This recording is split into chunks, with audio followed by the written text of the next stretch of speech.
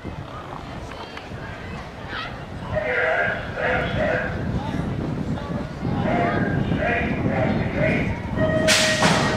afgesproken zien Michel Boven hier als eerste. van van de Velde, twee keer FC Unitas, toch weer Michel Boven. Waar zit Van de Wiezen? Van de Wiezen op 3 en is de Halma.